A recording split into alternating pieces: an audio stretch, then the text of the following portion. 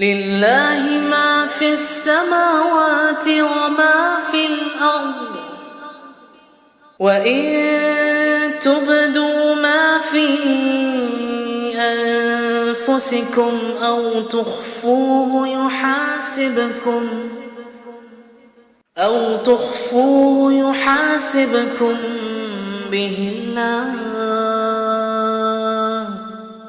فيغفر لمن يشاء.